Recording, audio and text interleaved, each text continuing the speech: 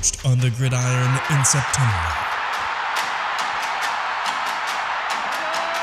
Perfected in the magic of March. Again, rebounded by Indiana. The game is over. For the fans who love the crunch of the pads, oh, prefer a dunk, Oh, he just shook the gravity. and expect nothing but the best. It's Bigger Ten. Here's Steve Deace. Hold on, we gotta do that again. I turned turned your microphone off because you were clearing your throat. It's really your fault. I just want you to know that. Most things are. no, it's my fault. Uh, let's just t- take it from the top there. Okay. Going back to you. Three, two, one.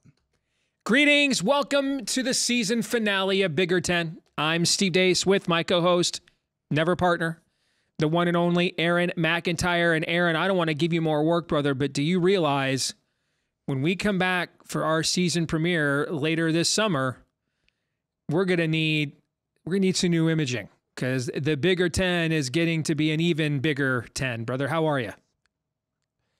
I was hoping you would not bring that up because I feel like I procrastinated for a final exam for about a year because we've known about this for about Right. a year. Right. And I was just praying, please don't remind me of this. And um, that's the first words out of your mouth. I mean, just Yeah, you know me. You I have like a to way. ease it in. I like to Yeah. ease things in. you yes. just have a way about you there, Steve. Thank you for that so much. what in the world am I? I'm going to Google basics of designing graphics that incorporates 18 different brands Indeed. Without ripping them off overtly into a web video series. How many results do you think that'll prop, prop up on Google? Steve? Not many. I I, th- I want to say one of our viewers actually gave us a They mock-up. did, yeah. That might I'm- help us, I'm right? po-boying this quite a little bit. It's Yeah. just the intro. I'm probably going to try to simplify the intro. The intro that I tried to do before, uh, I tried to incorporate, you know, kind of the well-loved brands and maybe a few moments that uh, people would maybe recognize from over the years from a, a number of Big Ten programs. Now, there's no way I can be fair to everybody. No, no. So it's just going to be a pretty simplified intro. I don't know. Um, hey, now that we've got this, uh, crowdsource, what would you like to see from an intro? Let us know in the comments, which I may or may not read. Uh, but what would you like to see from a very simplified intro uh, perspective? That's what I want to know. You know the the Big Ten Network's already planning. It's a out at USC Heisman Trophy uh, special, Yeah. honoring all the Big Ten Heisman serious? Trophy winners from USC. The Michigan Washington All Big Ten Yeah. national championship game last year, right? You know you know that this is coming, man. Yeah. yeah. Yeah. The question is, will the Big Ten culturally appropriate O.J. Simpson into its its history with the addition of USC? But that's Oh, a topic for another day. Mm-hmm. Indeed. All right, so it's our season finale, and here's what we're going to cover this week. We do this kind of every year for our season finale. Uh, we go through, I at least I do. I get a chance to watch as many Big Ten football spring games as I can. This year, I had a chance to watch nine of the 18 teams. Um, I wasn't able to see any of the West Coast teams. I didn't have access to any of their spring games. But uh, we go through and fire off some conclusions uh, about the teams we had to see. And frankly, a lot of times these are pretty accurate. I'm a big believer that what you see in the spring is the template for your team. That teams are really forged in the spring. And then once we get to the fall, that's really about preparing for the upcoming season. So the identity of a team now, now this era now with the transfer portal and everything else, you can improve and get better for sure. But the overall template of your team, the internal culture, uh, leadership, a lot of that gets forged in the spring. So, Aaron, we're going to split this up. We're going to do uh, the first half here in the first segment, and then after the break, we'll do the second half. So, I think it's only appropriate we start with the reigning champions, uh, the Michigan Wolverines. Um, watching their spring game, uh, they're going to have more talent and depth than I think many people expect, especially on defense. There, there are, I mean, I think there's another maybe 10 guys on this team that'll get drafted next year uh, in the draft, including maybe three or four picked in the first round. The question, though, is you know, um, they look championship caliber everywhere except the most important position on the field at quarterback. Now, we know that even when you got a first round pick at quarterback, Michigan will not play an offensive scheme that relies that that's quarterback reliant. But you still need a guy that can make a key throw here or there, and you still need at least a Cade McNamara type. And what I saw there in the spring, I'm I'm not sure that they have that player yet. And the closest thing to that is a walk on who's been in the program for four years and hasn't played a single meaningful snap of football in a Michigan uniform. So if if as a Michigan fan, if I thought, you know, with the guys we lost to the draft and losing Jimmy, we were probably a eight and four team, I'd just say play Alex Orji and let him grow with the roster. But because this is a team that I think is capable of winning the Big Ten for a fourth year in a row, I, I think now the what you need out of a quarterback is is a little bit more than what Penn State suffered last year. Remember, all last summer I said I'm concerned about Penn State. They have that roster that's ready to win this year, but they didn't get Drew Allar ready at all the year before. He didn't really play any meaningful football after the Purdue game. And you saw last year, he kind of had to grow up and the team suffered as a result. I could see Michigan suffering that kind of fate based on what I saw in the spring. Yeah, don't you think Michigan seems like the type of team that you know they could have a pretty solid but not flashy season, kind of like last year. Um, f- flashy meaning I'm not putting up 60 points Sure. every single game, week meant, in yeah. and week, week out. It's a solid season. You might be 10 and 1, 11 and 0 heading into the Ohio State game. People just maybe say, hey, this is an Ohio State renaissance. Again, we're talking about hypotheticals here in just the first day of May. Ohio State looks like they're having a little bit of a renaissance, you know, this year, and it's kind of a foregone conclusion that they're probably going to beat Michigan in the game this season. And Michigan goes in there solid, nothing's flashy, nothing special this year.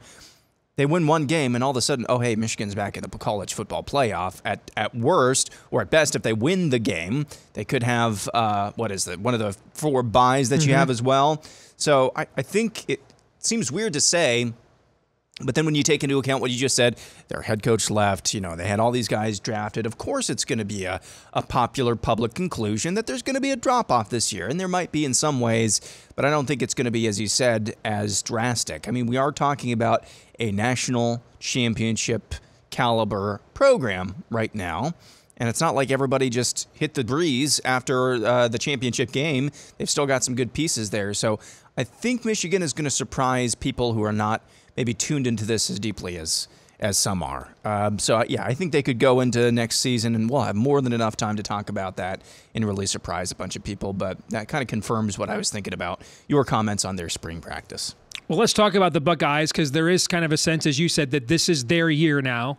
Uh, they've gone all in. I mean, uh, on the Fox broadcast, Urban Meyer basically said Ohio State blew blew the bank wide open uh, for this year's roster. Last year at this time, it was anticipated Ohio State was going to have maybe eight top 100 draft picks in the NFL. They had one. Why? Because all those guys came back, and you know they didn't come back for free. So the Buckeyes are all in this year, and I got to tell you, watching their spring game, man, they looked absolutely loaded as always. But but even physically, I mean, guys like Jack Sawyer looked like the incredible Hulk Lou Ferrigno from back in the day. But this is built differently than past Ryan Day iterations. It looks more like a Harbaugh era Michigan team. Um, I, I think it, I think uh, Will Howard is really not much of an upgrade over Kyle McCord. I think he's more mobile. So I don't think he's as good of a thrower as Kyle McCord, but I think he's more mobile. So I, I think you've got a Jag plus who can maybe turn third and six into a first down with his legs, and maybe that helps. Um, I thought the younger quarterbacks, including the one everybody raved about, Julian Sayin, did not look like they were ready at all. And I would be, I'd be really concerned about about if I were a Bucknut. What keeps me up is they're they're as loaded as any team in America everywhere except the two positions that Michigan exploited last year: quarterback and offensive line. And really, offensive line's been a problem for them against Michigan the last few years. Uh, they couldn't keep Ojabo and Aidan off of CJ Stroud last year. Um, Michigan's defensive front, uh, as the game wore on, uh, took more and more control of of the game in Columbus. And then last year, uh, you know, Michigan had the best defense in college football. Uh, the Ohio State team, and it was a thud spring game, meaning that no one was taken to the ground. All right. So guys are barely even going full speed. If it was a passing down, Ohio State's quarterbacks were blew, were blown dead almost every time. I mean, the the protection really struggled. And some of that is guys are split up. I get that. But but that's the one unit. If I was concerned, how do we not get John Coopered by Michigan again? Is the is they looked superior to Michigan at the, at every position I saw, except for the two that Michigan has has beaten them at the last few years. Yeah, so my rationale all last season, and you heard it a number of times on, on Bigger Ten, is that your receiving corps at Ohio State would cover a multitude of sins, whether mm-hmm. that was the offensive line, whether that was maybe a, a lack of ceiling at the quarterback position that you're accustomed to at Ohio State. Well, we kind of learned that, yeah, they had success. They had uh, good success last season, but when it came to the upper echelons of the competition, namely Michigan, that was the only one that really mattered it just couldn't hold up. When they were forced to play a way that they didn't necessarily want to play for a full game, they just could not hold up. So, yeah, that's that's obviously a cause for concern there. You just have to hope that, as you said, is there some sort of X factor at one of those positions?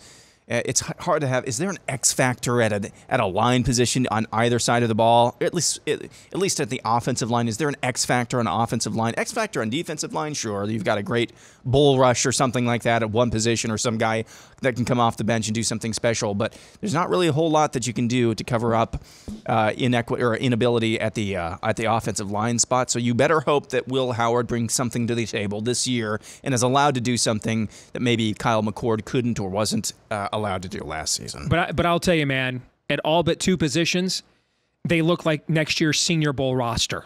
I mean, th- that's a legit top two preseason team for sure. Uh, let's talk next about Purdue.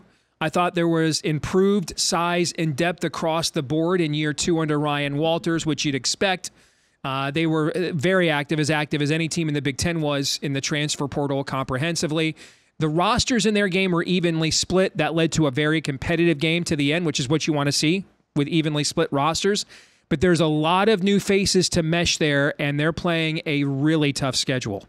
And so, I mean, I, I think it's possible Purdue could have three losses before we get to October.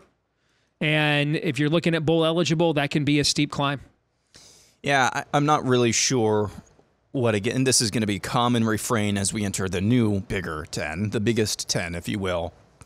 You know, I'm not really sure what what a reasonable positive expectation is for most of these teams, and that's not unique to the Big Ten. That's not unique to your fan base. Mm-hmm. I'm not talking about you, Steve. Daces. I'm talking about you listening and watching the show. It's not unique to your fan base. It's not unique to college football right now. It really never has been. I'm just not sure. Again, with the realignment uh, what a positive, realistic expectation for most of these programs is, and Purdue is is Exhibit A when it comes to that. I, I'm not really sure what to make. It's it's encouraging when you see good signs like this during spring ball. You don't want guys falling flat on their faces, but again, projecting what a Purdue can do in any year, five years ago or now in 2024 25 season, it's just really, really difficult to, to make of this with the ever changing landscape. So uh, we'll again have more time to do this in the off season as we as we project more, but um, you know, you just don't. I guess the bottom line expectation, or at least the basement expectation I have for uh, the Purdue's of the world, the Rutgers of the world, the Marylands of the world, which we'll talk about next segment, just don't fall flat on your face during spring ball. I think that's a decent expectation to have. Let's talk next about Penn State. I wasn't really sure what to make of their spring game. Uh, they have two new celebrated coordinators there. The offensive coordinator from Kansas that has a lot of respect, Tom Allen, the former Indiana coach, is coordinating the defense. So you had to know this was going to be really vanilla, man. They, they open up against West Virginia on the road. All right. So, you know, West Virginia won nine games last year, brings a lot of guys back. So, you know, Penn State wants to show nothing given what how, how tough that opener is going to be. So, this was very vanilla. Uh, the conditions were also very gusty, winds up to 40 miles an hour. So, you know, take everything that you saw in that game with a grain of salt. Two takeaways that I think stuck out to me, uh, weather regardless. Uh, they set their top two running backs, Nick Singleton and Kaytron Allen. Brother, their young running backs looked really good. I mean, they're they're loaded for bear for the future at that position, which also means the run blocking was pretty good too, because the throwing game was not much of a threat in these conditions. Um, but I also thought, in terms of size, they looked noticeably smaller. After watching Ohio State and Michigan, like I would argue, Drew Allar is one of the most physically imposing players I saw on Penn State's team in that spring game. So uh, they they looked noticeably smaller to, than Michigan and Ohio State to me. Other than that, though, and the impressive depth at running back given the conditions and the weather, but also in the coaching staff where you've got new coordinators. You don't want to you know show much of anything with that tough opener to start the year. Really vanilla exercise at Penn State. Yeah, I just don't have much to say about Penn State. Other than this, I just, given what happened last season, in uh, you you noted their roster was ready to go. Then we expected more from Drew Allar, or at least I did, and I still can't pronounce his last name correctly. You better hope you better hope that he's your superstar. That's basically what I'm looking for in Penn State this year. Better hope that he's your superstar because I'm not sure really I'm not really sure where you go from James Franklin. He's he's had good rosters, he's had great rosters, and still has never really been able to, except for one time, completely bust through that ceiling. So I, am just looking for a superstar to kind of save them. They you can see what they did when they had Trace McSorley, who was a great college quarterback, but we're going now uh, back five years ago now, four or five years ago. Uh, Trace McSorley and, and Saquon Barkley, great superstars. They need somebody like that at a program like Penn State. And I'm talking about a program like Penn State is a pretty damn pro, pretty damn good program. I, I just don't know what it's going to take for James Franklin to break, break through, and I don't think we learned much. And we were, and by the way, we were right. Last year was the year for them to compete. They had ten guys picked in the NFL draft mm-hmm. too. Yeah. All right, one more team this segment. Let's talk about Illinois. Now, for whatever reason, they kept no official score. I, I have no clue. What was the point of that? Especially given the way the game was played. You, I think you'd want some of these stats out there. I mean, um, it was a very offensive game. The number two offense moved the ball pretty well on the first team defense. So you can spin that as a positive or negative. I mean, Illinois took a massive step back last year on defense with all the guys that they lost and the coordinator. Uh, it didn't look all that much improved to me. I thought both quarterbacks, Luke Altmyer and Donovan Leary, both looked really good. But again, that's a double edged sword this time of year, right? Because it's at the expense of your own team.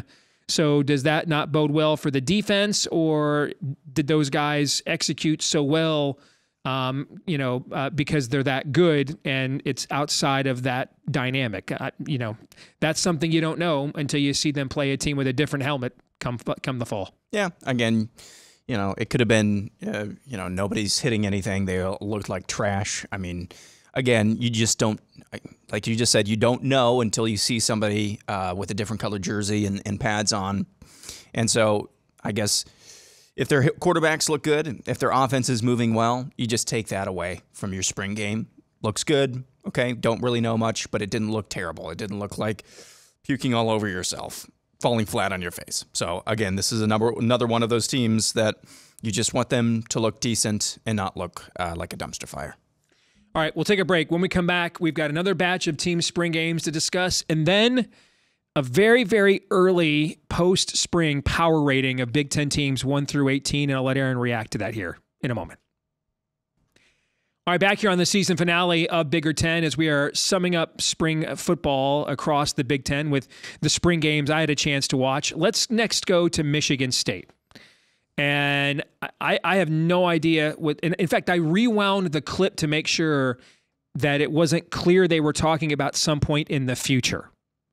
And yes, they were talking about this season.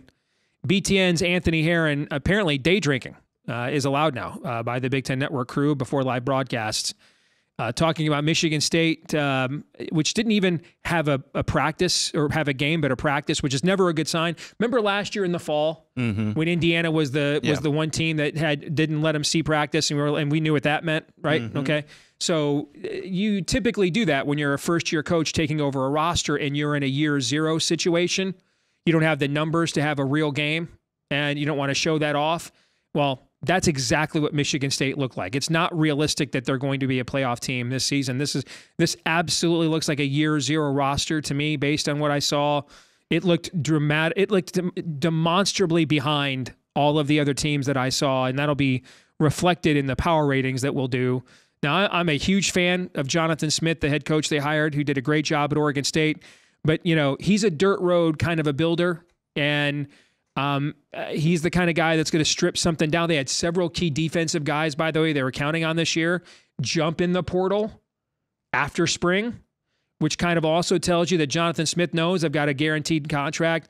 I can kind of take an L this year. If you're not on board, I don't have to get to a bowl game this year and put up with your act. You know what I'm saying? That Mm-hmm. I can just clean house, okay? And and it looks like he's cleaning house. That that that does not look like a competitive roster based on what I saw at that spring practice. It wasn't even a game. Yeah, I laughed when I saw that tweet. I mean, realistic expectations. You know, it's more realistic. it's it's more realistic than maybe it was last season, uh, but only because there's more player, more teams making the playoff now. Uh, I don't know. I think that's one of those moments where it's like, oh crap, the camera's on, my mic is hot. I Yeah. need to say And, something. and we've got to be positive. yes. Yeah. Uh, yeah, maybe we should actually blame that on the on the play-by-play guy who asked that question as a setup.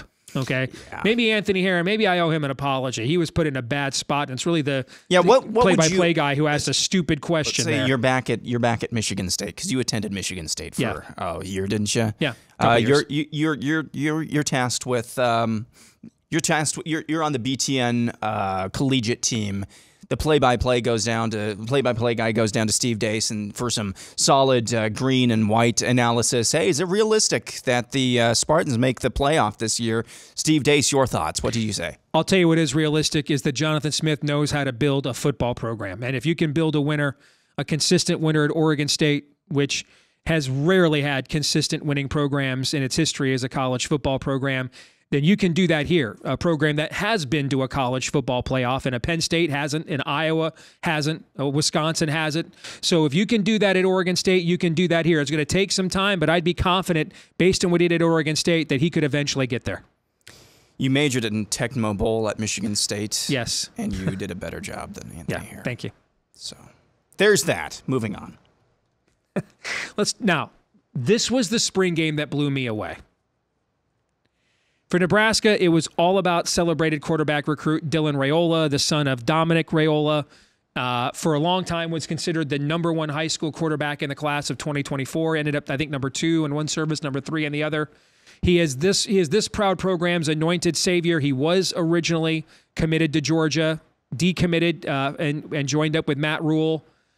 And I have to tell you, man, it's the most impressive performance by a freshman in a Big Ten spring game I have ever seen. He absolutely looked apart. He was going against the Nebraska number one defense. And that's a good defense. That was a good defense last year. It'll be a good defense this year. Um, I mean, he looked good. I mean, uh, he wears Pat Mahomes' number. He mimics his posture, delivery, off, platform throwing. Um, I mean, it's he's like a Pat Mahomes impersonator. Uh, he was just really impressive. I'm, I'm like, if this guy were the, was their quarterback last year, they win seven or eight games. Now, this year's schedule is harder than last year's, I think, but um, this might be the year they finally get off that schneid. They've not even been to a bowl game at Nebraska since 2016 because it wasn't just him. I, I saw several other get off the bus eye test kind of guys. When it, you know the old when the guy gets off the bus, you're like that guy's a player. I saw several of those guys at Nebraska, and I, I know there is this thing with Matt Rhule, kind of like you know when John Beilein was in, in the Big Ten, his first year everywhere he went they were terrible while he was rebuilding, and then year two they took a big leap, and that's kind of been Matt Rhule's history uh, at Temple, Baylor. I could see that happening this year at Nebraska. Um, when we do the power ratings here in a few minutes, a lot of people are going to think they're very high. If if I was just basing it off of what I saw when I watched all these teams last weekend, I would have actually put them higher. Um, but I but I factored in their recent history. So let the preseason hype commence. I I was impressed. I was. I still got to see this, though. I don't blame you at all. I still don't. got to see this. Yeah. Mike Riley had several really good recruits, or recruits, I should say. He had several really good recruits. He had several decent looking teams. Yeah. I thought on numerous occasions. Scott the Frost had a top 25 recruiting class every year. favored son with a top 25 recruiting class. This is the year. This is the year. This is the year. I really think highly now of Matt Rhule. I do. I think highly of him. In hindsight, more highly of him, obviously, because he has a better record, at least at a higher level than Riley or Scott Frost had. I still got to see this happen at Nebraska. Still got to see it happen. So, uh, I, you know, for that fan base who has been beleaguered, as you just laid out, in a number of ways, I hope this is for them now, not as an Iowa fan, but we're uh, done with the divisions now. Uh, you know, I hope for them that they finally have their breakthrough year. This seems like, just like it seemed like on a number of other occasions and other seasons, this seemed like the year to do it. This seems like the stars are aligning, but I just got to see it happen. Don't blame you at all. And if the roles were reversed and you had watched the game and came back with this report, I would be saying exactly what you're saying. I got to Yep. see this myself. Okay.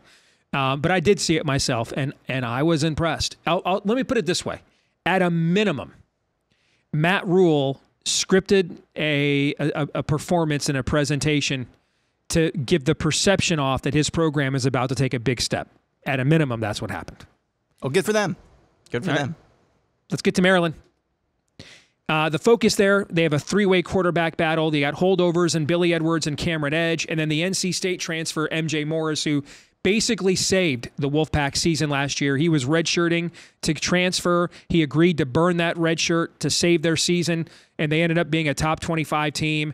And watching their spring game, the conditions were not great, and he was the only one that could move the offense and was clearly the superior option that day. So everywhere else, you know, it's typical Maryland, good looking athletes at receiver, couple good looking athletes on defense, but they're not going to be great there. It's really a quarterback, the opposite of Michigan, what we said about them last segment. It's really a quarterback reliant system. Uh, under uh, Mike Locksley and MJ Morris, the NC State transfer, looked like the clearly superior option to me. I've noticed that Sirius XM College uh, Sports Radio, I think it's 84 on uh, on Sirius XM, they have a lot of promos featuring Mike Mike Locksley. Have you noticed that as well? I, I don't know if there's something that I'm missing there. Maybe he just makes himself available to them more often. Could be, yeah. Uh, but it, when it comes to Maryland, same thing uh, every year. Looks like they have some great pieces on offense. Probably do. Uh, it's just when are they going to be able to put both sides of the ball together? Then you never know. A team like uh, Maryland, if they have that long, you know, kind somewhat long string of success on the offensive side of the board, you never know when when the stars could align just right and they could really make hay while the sun shines. But again, we're we're kind of saying the same thing every offseason with Maryland, which is not necessarily a bad thing. You want some sort of consistency there. It's not like this is all bad, uh, but it seems like this is a, just the same thing we, we talk about every time this year with Maryland. I think we've got one more, right? Indeed. All right, let's talk about Rutgers. Uh, Rutgers held out a lot of guys, which makes how competitive and well played this game was more impressive. I mean, they played clean, they played tough, they played physical. Um, that's a testament to what uh, how much this program has improved under Greg Schiano. Both quarterbacks, Gavin Wimsatt and Minnesota transfer uh, Kalik McManus, uh, both looked good, or Kaliakmanis, I should say. I always put the wrong emphasis there on the on the syllable. Uh, both looked really good, played well in the game. They both led multiple scoring drives, but it wasn't like, oh no, the defense sucks. They're just taking up huge chunks. It was just really efficient, making plays, getting stuff done. I mean, I- this was honestly, again, impressive. This this looks like a team that, and and I think what you said a few minutes ago was so key with the with the the more the the added depth coming to our league, the lack of divisional play. We we really don't know yet these teams outside of the real top tier, what's realistic for them now, right? You know, Yeah. For an Iowa level program, and and I didn't get to see their spring game; they, it wasn't televised. For an Iowa level program, nine and three is a great year because it usually meant winning the West if you did that, right? Mm-hmm. But now, if you're nine and three, you're still doing that, but there's not a title at the end. What does that mean, right? Likewise, Rutgers could be a lot better but not get to a bowl game because of the t- how how much deeper the league is. When last year it made one and then beat Miami, you know, and and had a, by its standards a great year. So I, I'm hesitant to put too much on the programs outside of the teams we know are competing for playoff spots because the depth of this league and the lack of divisional play and the uh, imbalance in the scheduling uh, we're not really sure what is realistic expectations now on a perennial basis for those teams outside the top tier. But Rutgers looked like a, and I say small p, although they're about to be capital P, a small p professional, competent college football program to me. Yeah, this is kind of the struggle, and you heard a little bit last segment. This is kind of my struggle with some of these teams. It's like, yes, you may be getting a lot better, and you may look really good in the spring, which is better than, you Yeah, that's better than a lot of Rutgers spring games that we've been able to talk about over the years. But what does that really mean in terms of wins and losses, in terms of prestige at the end of the season? Because here's the new era of, of college football that we're entering into. And I, I don't want to sound whiny about this. It's kind of impossible not to. But there's really, re- it's going to be harder than ever before to break into the upper class Yeah. of college football. I agree. That's just the reality. And I, I don't even think once you start playing paying players, it will get a little bit better, but I really don't think that's going to change all that much once you start play, paying players, which I'm sure we'll get into in the weeks to come. But it's I, it's just because of the scheduling and because of the conferences, you're just it's going to be harder than ever. You're not going to be able to catch lightning in a bottle where you have the intersection of an experienced team that has spent a lot of time in your program, the intersection of that with a somewhat easy or manageable set, uh, uh, um, schedule. Th- that opportunity is just not there Yeah. right now, both of those things are gone. You're uh, every single every single team in the Big Ten, and you could say the same for the SEC. At that level, the same thing for the Big Twelve. Every single team has a difficult schedule, so that's one of those intersections just kind of gone. Right now, in the wild west of the transfer portal, you don't have most of your roster in a lot of these places, or at least a good chunk of your roster. You got to re-recruit them every single season. So mm-hmm. every single year, you're at risk of losing that other intersection, which is, hey, you've got a lot of experienced players who have a lot of experience in your program, in your system. And so right now, both of those both of those roads on that intersection are just kind of gone. One of them may come back with you know paying players, but the other one that's gone forever, at least as far as I can see. And so it's really going to be difficult. I don't know what success means anymore for a lot of these programs. I think that's very, very well said. So, post spring, if you put a gun to my head and I had to do it right now, here is how I would power rate the 2024 Big Ten heading into the offseason when there's still going to be transfer portal activity, summer workouts, training camp. So, still a lot to unfold before the season begins on August the 24th. But I'd have, and, and let me put these in tiers because I think that's more important than numbers. Because we have 18 teams, Aaron, uh, you know, it, it's it, is there that much of a difference between 15 and 18 probably not. Or between 8 and 12 probably not. So let's put them in tiers. To me i would put ohio state and oregon in their own tier. I think ohio state is as loaded as any team in the country everywhere except offensive line and quarterback um, Oregon is not as loaded as them, but I think Oregon will unquestionably have the best quarterback in our league this year with Dillon Gabriel, and and they're good enough up front that superior quarterback play means that they're in that tier. If you know what I'm trying to say. Yep. Okay. So I would put them in a tier by themselves. I, I think they are absolutely the favorites to to play each other in Indianapolis in December for the second time because they play each other in late October in in or mid October in Eugene. I would put Michigan in its own tier. Um, I, I I think Michigan there's there's a quarterback difference because I, I didn't even see a Will Howard who's at least won big games at Kansas State. I didn't even see Michigan with that, and they certainly don't have a Dillon Gabriel. So I think you have to put those put Michigan behind those two teams. But what I saw physically, Michigan will have. I think the teams that they're playing that are below them will not be able to block them, like the last few years, and I think they'll be able to block them. So I would put Michigan in its own tier. And then I'd kind of say Penn State with its overall recruiting base, USC with its overall recruiting base, Iowa with the defense that it is bringing back this year. I would kind of put them in another tier. And then I'd take Nebraska with which, which I think has a potential to break out of this tier and get into the next one. Washington, which lost a ton, but but still was a team that that was playing for a national championship last year. Uh, Wisconsin, who of course is a solid program in the Big Ten, and and it fits a lot of the dilemma that you were just describing. Really applies to a team like Wisconsin and your Hawkeyes. Um, and and and Rutgers, Maryland, and Northwestern, I'd put them in their own tier.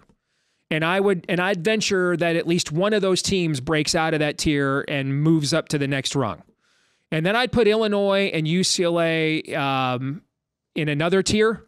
Uh, teams that I think legitimately could uh, could go bowling, and um, it would be a disappointment if they didn't. But maybe not much more than that. And then I'd take those last four teams and put them in their own tier, and maybe one of those four can get to six and six. Um, but but that's how I tier it right now. And I and I, I think when you're ranking 18 teams, it's probably more about what tier they're in than what number they are. Yeah, I'd say there's there's one team that really kind of jumps off the page, but then when you look at their look at their win total, which I'm looking up right now, it kind of makes sense, and that's Minnesota. Boy, that kind of surprises me. They're all the way down in the last tier there, but I believe their win total win totals are already out for a number of teams. Let me look this up real quick here. I believe I saw Minnesota's win total this season, and we'll get into this again a lot more in the in the weeks to come but their win total right now is five for the season, What's it juiced to the over one thirty-five. To the over? So it's juiced to the over, but Yeah. we're talking about a borderline. But 135 is not that, you know, No, Byzantine. we're Yeah. talking about a borderline maybe bull team. So Yeah. They're basically kind of in line 6 with- and 60 40 that they'll get to a bowl. yeah, Yeah. yeah. So kind of in line with uh, where you've got them there, kind of a marginal team, but uh, I don't really have too many qual- uh, too too many bones to pick with this. Um, Michigan, I, I believe, is still the team there that a lot of people are going to sleep on. Do they have the highest ceiling or a, as high of a ceiling as they had last year? No. Of course not. No, they don't. But they're But I still think the floor is a lot higher than people are thinking it is. yes. Yeah. I think that's the key part there. And if if they get, do they play Oregon this year? They play them at home in early November. Yeah. So early November in Ann Arbor. Oregon under Dan Lanning is a lot different Oregon team than what we were accustomed to. You know, they can play the kind of grinded out, but Yep. it's also across the country. So you get the right team at the right situation, and Michigan could still be there at the end of the season playing in the game for, of course, a trip to the Big Ten title game on the line and maybe a bye in the playoff. It's not that far out of the realm of possibility. So not as high of a ceiling, but I still think you just can't sleep on a team that just went to the national championship game and won. And if you're Sherrone Moore, that's what that's all you need in year one. Right? You don't want to be seven and five and playing in the Outback Bowl because that narrative is like, oh, Jim's gone, Michigan's toast, Correct. right? If you can even just get nine and three and into the playoff in year one with everybody that Michigan lost, that gives you momentum moving forward as a first year head coach. All right, we'll come back and wrap things up here in a moment. Real quick, it just dawned on me, if you don't mind, indulge me for a second when we started Bigger 10, John Miller and I were debating whether or not Nebraska or Missouri or Maryland or Virginia was coming into the Big 10. Okay. We're now, you and I just went through an exercise, Yeah. Aaron, where we just rated 18 teams in this league. That just dawned on me during our break. We just, we had power, eight, an 18 team power rating of the Big 10. What a crazy era this has become, man. I just, I wanted to make a point out of that here for just a minute. That is crazy. It, I also feel a little dirty in some ways. I, UCLA, I know. I know. I just I know. It's gonna. It's just gonna be I'm weird. trying to think of a good analogy for for what this would be like in a in a more tangible way. Yeah.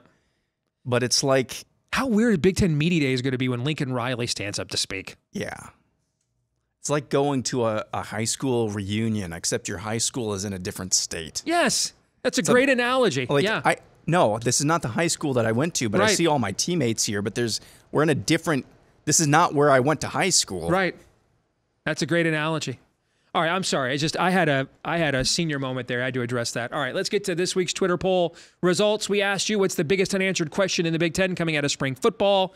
52% of you said Iowa's starting quarterback, and I don't disagree because we're talking about if Michigan has a quarterback good enough. Right now, we're finding out, we're wondering does Iowa actually have a quarterback? Uh, the guy Deacon Hill taking their one reps in in the spring Yeah. practice. He's not he's not there anymore. And I mean, Cade McNamara's basically played one half of football at 100% in two years. Yeah. All right. So that's why there's a lot of talk about Devin Brown, the Ohio State kid, maybe transferring in. We'll I'm see. fine with a QB competition. Yep. Not, nothing against Cade McNamara. I just think No, there needs to be. I mean, the guy's been hurt a lot, two years in a row. You have to have an insurance policy there, no doubt. Uh, 25% of you voted for Michigan starting quarterback. 14% of you talked about Washington's overhaul. Everybody is forgetting how many how much talent Washington lost and a great coach. Uh, and then 8.7% of you said Drew Allar, who remains the big question for a lot of Penn State fans. That needs to be number two or number. You think one. that should be number two? Yeah. I, I, I think you can make the case for that for sure.